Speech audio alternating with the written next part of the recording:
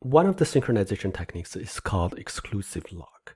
The basic syntax of the exclusive lock is basically just saying lock and then parenthesis. So within the parenthesis is a lock object. We're going to talk about when we jump into Visual Studio. And then you use curly braces to surround the critical section. We call the everything within the curly braces the body of the lock.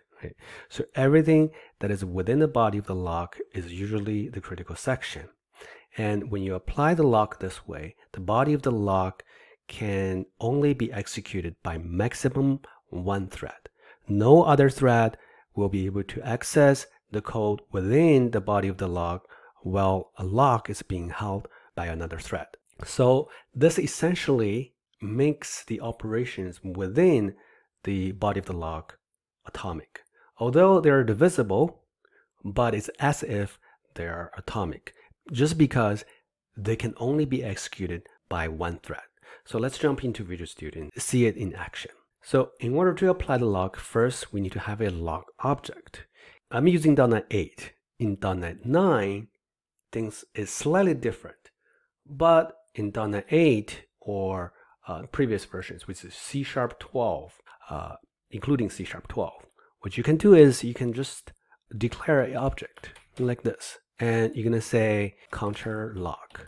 And uh, you can just say new object like this. Now, this can be used to lock a critical section like this. So now let's go to the critical section right here, and then we can say lock, and then we apply that to the counter lock. And we use curly braces to specify which is the critical section to be included in the body. And it's just like this. It's very simple. Now, when we do this, the this code can only be executed by one thread. It's not possible that both threads are executing this. Right? And it's, it's going to avoid the problem that we had before. All right, so let's run this and, see what happens. All right, now you can see that the final counter value is 200,000. Now, if I run it again, it's going to be the same thing. See, every single time it's going to be 300,000. And that's just because we applied the exclusive lock and it's as if this line becomes a atomic operation, although it's not. But we are using the lock to make it behaves like atomic operation. Now, one more thing I want to mention is that the lock has within itself a try-catch mechanism, try-catch and finally mechanism. That means that you don't have to worry about what if inside here, because this is just one, one line of code. Uh, in real world project, you may have complicated operations within the body of the lock. And what if it throws exception?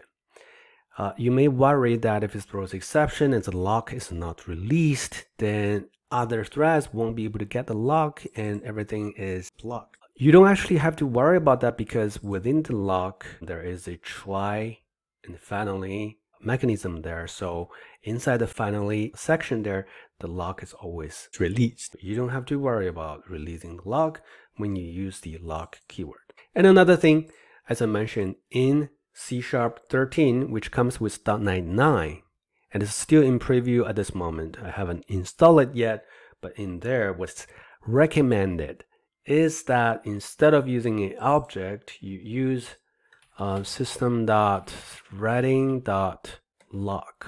I think it's called that. As you can see that it's not actually available in my version because I'm using C Sharp 12. So I have to do, I, I think it would be look like something look like this in C Sharp 13. So I have to do what is recommended by the previous versions. Right? So I'm just using a object here. Um, this can be a any reference type. It doesn't have to be object. And the best practice is to use a dedicated lock that has only one purpose, which is to protect the critical section here. And I think that's everything I want to cover in this video. If you have any questions, please let me know. If not, I will see you in the next one.